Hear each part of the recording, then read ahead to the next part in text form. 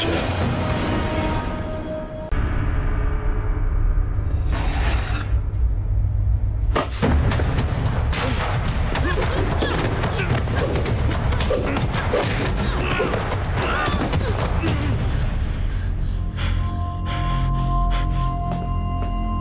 Escuché que estás buscando al demonio.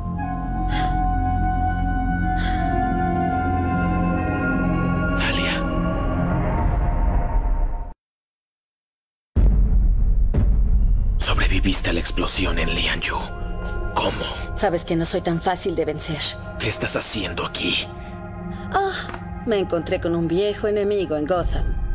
Lo que me sorprendió es que tú estuvieras aquí, como prisionero.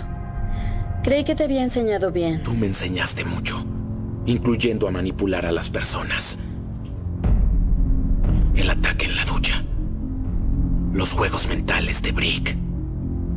Oprimiste cada botón y jalaste cada hilo solo para traerme aquí. Siempre entiendes de inmediato. ¿Dónde está Ricardo Díaz?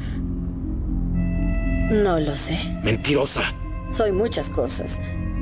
Pero esa no es una de ellas. Preguntaste cómo sobrevivía Lian Yu. La respuesta es... Solo por una droga provista por tu amigo Díaz. Y a cambio hice posible el ataque al hombre que asesinó a mi padre. Y me dio por muerta. Un intercambio justo. Hubo una época, Dalia, en que aliarse con un hombre del tipo de Ricardo Díaz no hubiera estado a tu altura. Hago todo por sobrevivir. Otra lección que parece que olvidaste. Te dije que separaras al hombre del monstruo. En vez de eso, expusiste ante todo el mundo tu verdadera identidad. Y te volviste el monstruo que siempre temiste. ¿Qué es lo que quieres de mí? Se puede salir de Slabside y necesito que me ayudes a escapar. ¿Esperas que te dé mi ayuda? Después del dolor y el sufrimiento que le has provocado a mi familia. ¿Qué te dice el que te pida ayuda después de lo que le has hecho a la mía?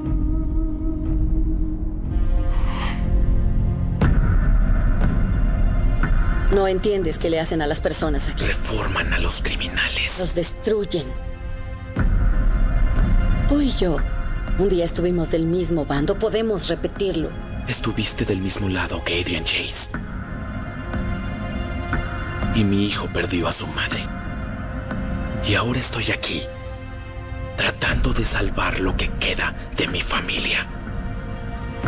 Porque estoy atrapado en un círculo de violencia y he estado atrapado ahí desde el momento en que me dijiste qué hacer con la lista de mi padre. No puedes creer eso, Oliver. Aquí no está Oliver. Soy el preso 4587. Te pido que como sea, que rompieras en mi celda. Que te vayas. That's just my point of view.